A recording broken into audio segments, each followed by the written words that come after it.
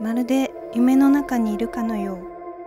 人気のない通りぼんやりと色あせた人影が遠い昔から受け継がれてきた儀式を永続させる。その全てから逃げようとした私は再び閉じ込められていることに気づく。この際限なく繰り返されるサイクルの中で物心ついた頃から私はずっと影と一緒に住んでいた。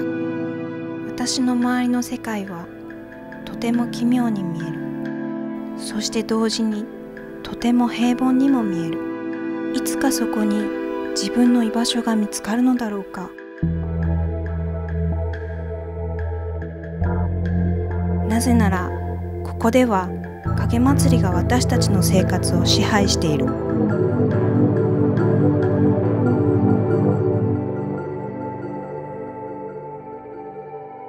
だから私は影と過ごした一瞬一瞬を大事にしている永遠のかけらのように。